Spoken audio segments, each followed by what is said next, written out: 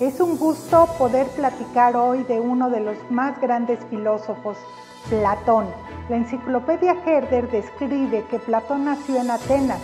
Fue un filósofo griego seguidor de Sócrates y maestro de Aristóteles. Fundó la Academia, institución que continuaría su marcha a lo largo de más de 900 años y a la que Aristóteles acudía desde esta a estudiar filosofía compartiendo de ese modo unos 20 años de amistad y trabajo con su maestro.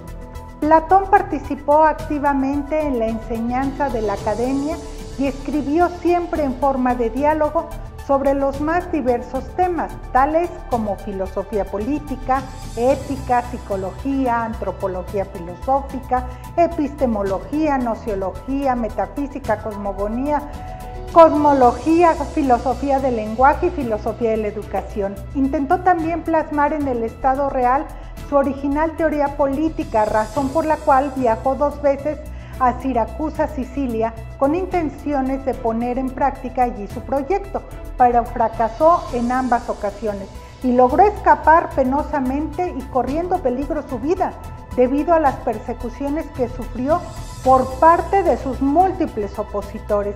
En su libro de la República narra el mito de la caverna, en el que nos dice que vivimos en un mundo de sombras y que estamos atados dentro de una caverna en la que damos como real las sombras de lo que en realidad es la verdad.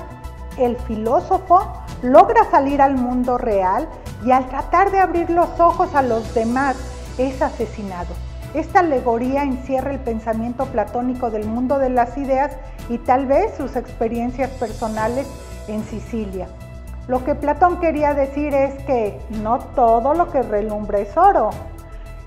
Y eso nos lleva a pensar, ¿te parece que lo que vemos en verdad sea solo un reflejo de lo que es real y que no llegamos a conocerlo? Reflexionemos sobre esto. Hasta la próxima.